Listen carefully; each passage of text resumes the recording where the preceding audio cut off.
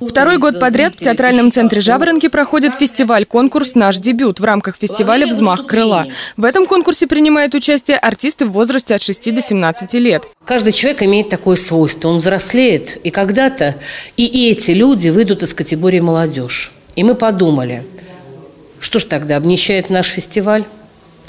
Или придут опять начинающие, которые ничего не умеют, ничего не знают. И тогда мы приняли решение. Надо бы э, иметь э, такую ступенечку, подпиточку для нашего молодежного форума. И мы решили учредить детский театральный конкурс в рамках «Взмаха крыла. Наш дебют». Талантливые конкурсанты из разных учреждений образования и домов культуры представили свои работы, а гости, в свою очередь, отметили высокий уровень мастерства юных актеров.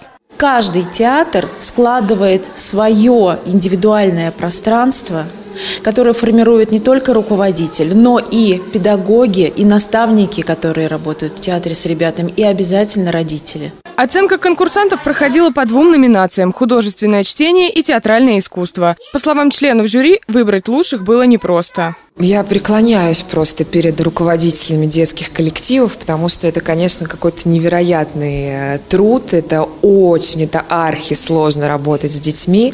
А, мне кажется, со взрослыми это как-то гораздо более простая, органичная история. А дети, это, конечно, это требует огромное количество каких-то сил, эмоциональных вложений. Мастерство юных актеров растет. Это отметили все члены жюри. Лучшие работы будут показаны на театральном фестивале «Взмах крыла». Елена Морозова, Денис Харламов, телекомпания «Одинцова».